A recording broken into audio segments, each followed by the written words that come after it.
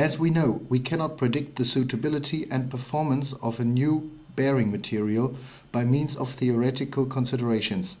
Therefore, at igus we conduct 4 to 5,000 tests each year in our own test lab. Individual customer tests are very welcome. If these requests can even be done on our standard test racks, results can be obtained rather quickly.